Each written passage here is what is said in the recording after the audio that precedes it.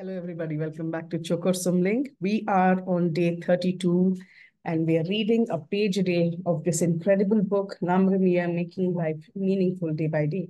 Teachings on the Lamrim given by these great masters, Kyabje Lama Yeshe and Kyabje Lama Rinpoche, over the years and compiled by Alison Murdoch and Sandra Smith and published by Lama Yeshe Wisdom Archive. Day 32, let's get started.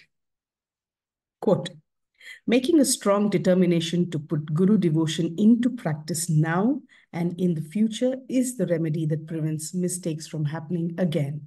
End quote, Lama Zopa Rinpoche. Text. We know about these eight benefits and eight shortcomings from our own experience.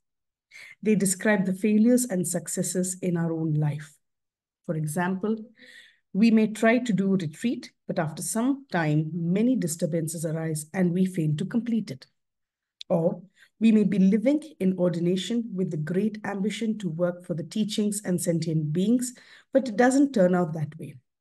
The wish is there, but it doesn't happen because there are many obstacles. Even though we may have all the conditions to practice dharma, many obstacles arise and we fail.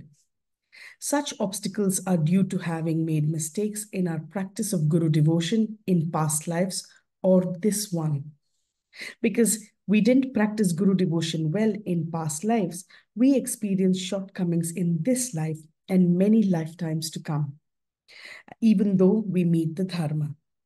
Because we have made the same mistakes for many lives in the past, we create the results similar to the cause in this life. Even on those rare occasions when we meet a virtuous teacher and the teachings, we make the same mistakes again and again in our practice. However, even if we have made many mistakes, it is important to make the determination not to make them again. Using every means, especially quotations and strong reasoning, we should meditate again and again on the advantages of devoting to the virtuous friend and the shortcomings of not doing so or making mistakes in devoting to the virtuous friend. If we do this, the wish to devote to the Guru will arise and we will feel great happiness in devoting ourselves to the Guru. The three big recalls for the day are these benefits and shortcomings describe the success and failures in our own life when we don't practice Guru devotion well, the same mistakes continue from life to life. Using quotations and reasoning, we should meditate on these subjects again and again.